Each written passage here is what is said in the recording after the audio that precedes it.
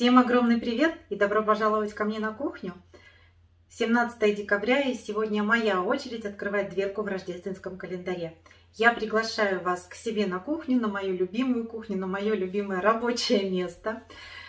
Сегодня я буду выпекать рождественский кекс. Это Кристен, что ли. Это традиционная рождественская выпечка.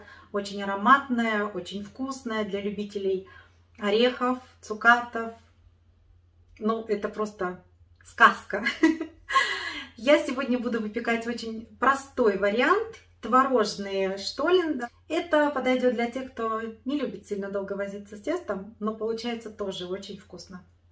Все, что мне понадобится для того, чтобы выпекать этот кекс, у меня уже на столе, я все взвесила. Рецепт я вам оставлю обязательно в описании с точным указанием по граммам, чтобы вам было проще готовить. Я уже э, просеяла муку, ну вы видели, да? Именно в муку я добавила щепотку мускатного ореха и щепотку сушеного имбиря, ну порошок, да. Потом с мукой это все смешается вместе и добавится. И, кстати, сюда же я добавлю щепотку соли, чтобы меньше места занимала на столе. Так, мой снег летит.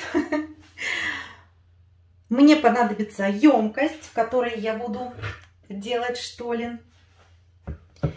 Первую очередь мне нужно будет сахар растереть с яйцами до пены. Я воспользуюсь миксером. Затем я добавляю сюда сливочное масло, мягкое, очень мягкое. И все тщательно перемешиваю. Сюда же я добавляю пастообразный творог.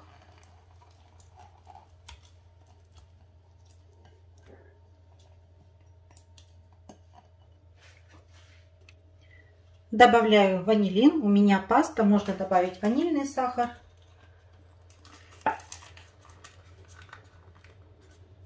Еще раз все тщательно перемешиваю. Миксер мне больше не понадобится.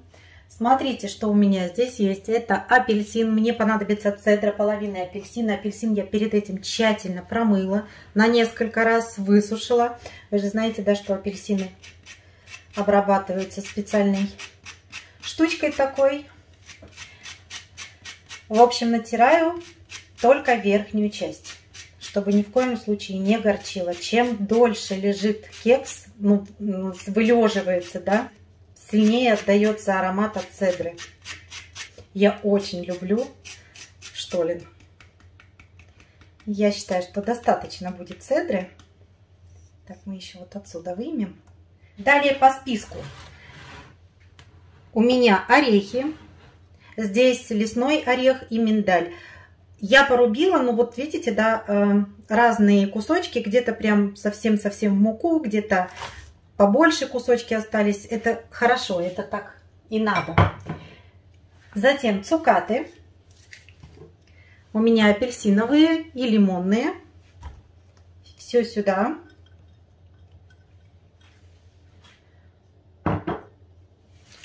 А здесь у меня изюм и курага. Сейчас я вам ставлю маленький кусочек видео, как я их заливала коньячком. Я их добавляю. Я скоро буду выпекать штолен. И мне нужно изюм подготовить заранее. Для этого я его промыла хорошо водой и заливаю кипяточком. Оставляю набухать буквально на полчасика. Затем я эту воду солью. И покажу, что я делаю дальше. Здесь я еще немного нарезала кураги на мелкие кусочки и добавляю сюда изюм. Заливаю все это дело коньячком, чтобы оно покрыло полностью. Так. И добавляю ароматизатор ром. Если у вас есть ром, то можно залить ромом. Сухофрукты, это будет тоже очень вкусно. Я прям буквально капель 5 Убираю это в холодильник, и когда оно постоит пару дней, это будет очень вкусно именно использовать для выпечки. Две чайные ложки разрыхлителя я добавила к муке и начала замешивать тесто. Произошла небольшая накладочка, я не включила камеру. Тесто изначально я замешиваю с помощью силиконовой лопатки, а затем хорошо вымешиваю руками. Лучше хорошо вымесить. Не стоит забивать мукой, утяжелять. Достаточно просто хорошо вымесить тесто. Посмотрите, уже тесто вот такое получилось. Оно практически не липнет к перчаткам. Хороший такой колобок. Оставляю его буквально на минуточек 10. Ну вот, чтобы все связалось там внутри. Пусть полежит чуток. Тем временем мне нужно растопить масло, сделать топленое масло. И включить духовку для того, чтобы она хорошо разогрелась до 180 градусов. Тесто немного отлежалось. Я делю на две равные части. Ну, плюс-минус, приблизительно.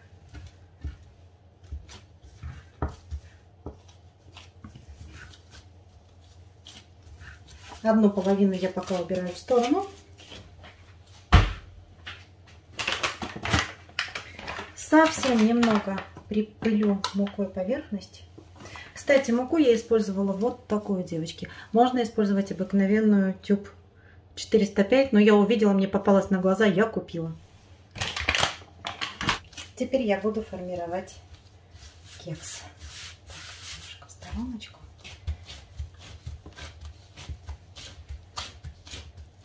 делаю таким образом. Одну сторону я хорошенько придавливаю, делаю практически плоской. Другую сторону, вот такую толстенькую, видите, я вот так заворачиваю.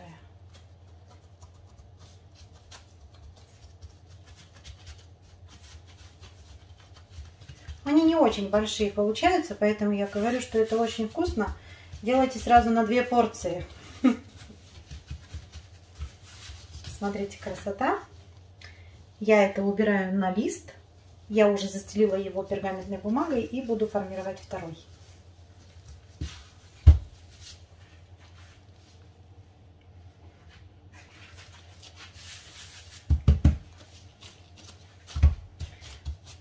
То же самое, немного раздавливаю.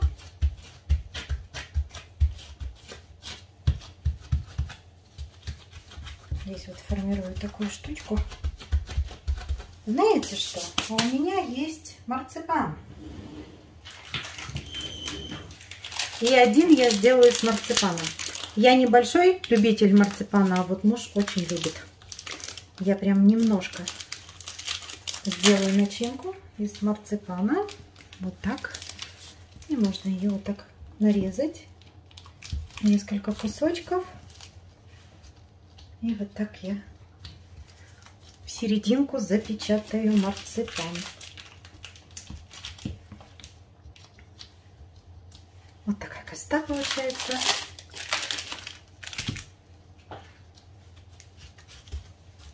И теперь просто заворачиваю.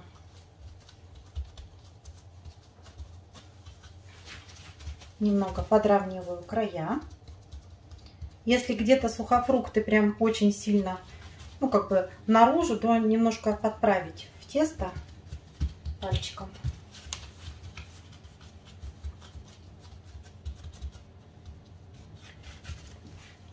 И второй готов. Запекаться я отправляю, как я уже сказала, хорошо разогретую духовку до 180 градусов вверх-вниз но все-таки ориентируйтесь немного по вашей духовке, да. Как бы духовки тут разные. Выпекается где-то 45-50 минут. Но поглядывайте. После 40 минут поглядывайте. Они небольшие, но им нужно время для того, чтобы они пропеклись, потому что тесто очень тяжелое само по себе. И вот они, мои красавчики.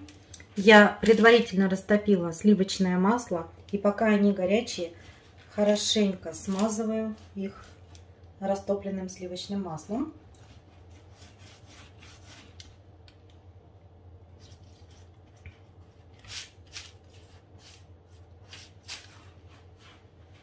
Этот пусть напитывается. Я когда открыла духовку, вы не представляете, какой был аромат.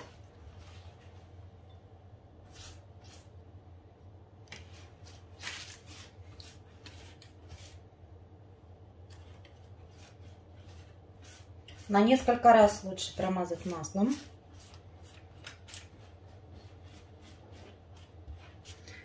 Теперь посыпаю это простым сахаром. Подсмотрела это у моей подружки. Вы ее многие знаете.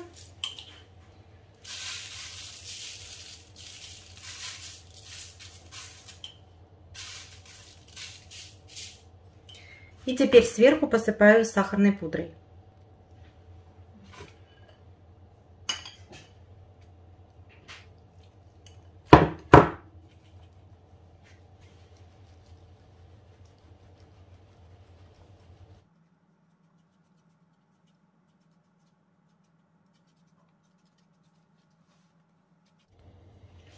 Вот такие у меня белоснежные красавцы получились. Оставляю остывать. Потом я вам покажу обязательно в разрезе, как это выглядит.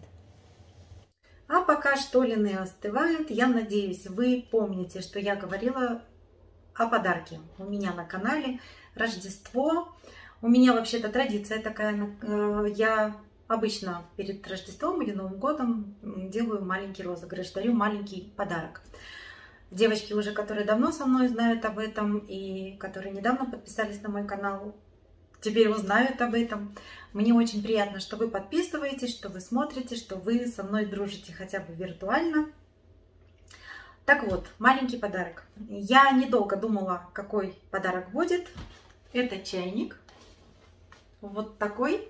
Обыкновенный электрический, правда он стеклянный, но он мне как-то приглянулся.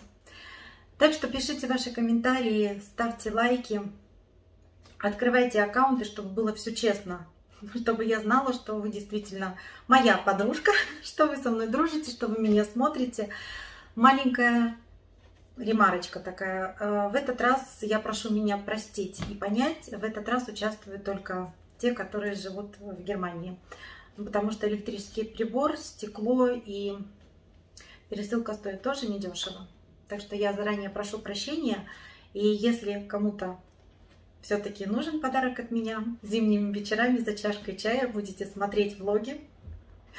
Так что пишите, я буду ждать.